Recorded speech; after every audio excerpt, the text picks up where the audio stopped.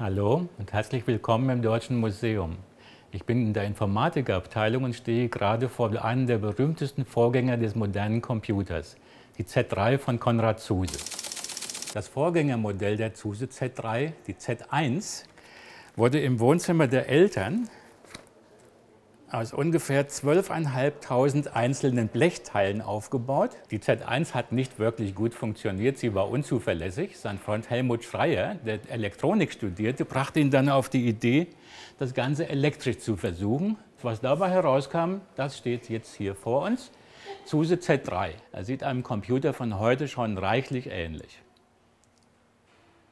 Wir haben einen Speicher, wir haben eine CPU, den Prozessor, Oben ist der Rechenteil, unten ist der Steuerteil.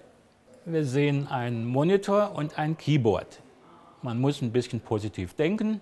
Dann kann man hier sehr schön einen Flatscreen erkennen, 21 Zoll, 16 zu 9 Format. Und dann ganz unauffällig auf der rechten Seite das Wichtigste, die Programmsteuerung.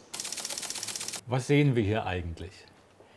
Die Zuse Z3 ist hauptsächlich aus Relais aufgebaut. Eins davon habe ich hier in der Hand. Ein Relais ist vom Prinzip her nichts anderes als ein Schalter.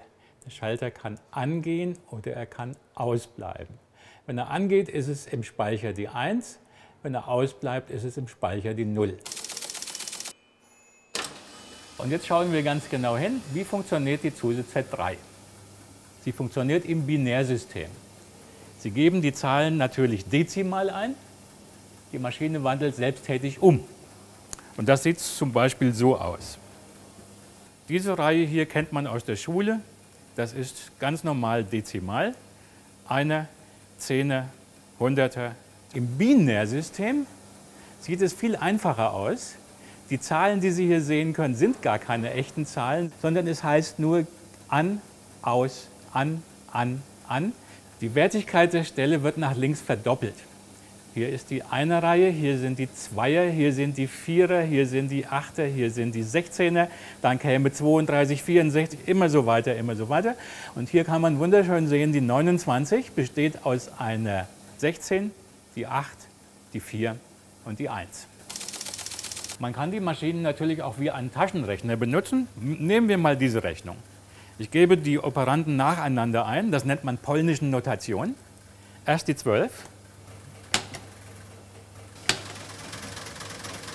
und die Zahl ist gespeichert, man kann sie deutlich sehen. Jetzt kommt der nächste Operand, die 17, die Eingabetaste.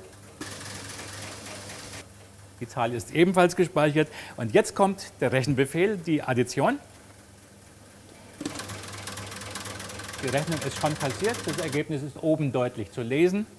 Man kann es natürlich jetzt abrufen und hier sichtbar machen. Abruftaste, Rückrechnung auf Dezimal und das Ergebnis 29. Sie sehen, man kann mit dieser Maschine arbeiten wie mit einem Taschenrechner. Wenn man allerdings keine Lust hat, die gleiche Rechnung ewig händisch zu machen, dann kann man alle Grundrechenarten auf einen Filmstreifen übertragen. Man locht den Streifen, man locht seine Kommandos und das Programm läuft dann anschließend automatisch ab. Das erste, was man braucht, ist eine Rolle Kinofilm. Da schneidet man sich handliche Stücke ab fädelt die in den Programmlocher ein und dann locht man sich in aller Ruhe seine Rechenbefehle, die die Maschine dann ablesen kann. Dann nimmt man den gelochten Film aus dem Loch heraus. Dann wird der Filmstreifen in den Laser geschoben So, es kann losgehen. Das Programm ist eingelegt, die Taste Lesen wird gedrückt.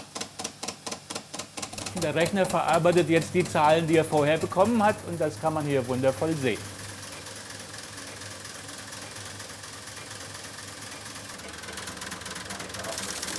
Mit der Maschine sind tatsächlich in echt Flugzeugtragflächen berechnet worden. Sie wurde allerdings kurze Zeit später zerstört. SUSE hat sie dann vor rund 50 Jahren nochmal aufgebaut. Damit ist die Z3 buchstäblich der deutsche Beitrag zum modernen Computer von heute. Ja, und jetzt danke für Ihre Aufmerksamkeit und noch viel Spaß im Deutschen Museum.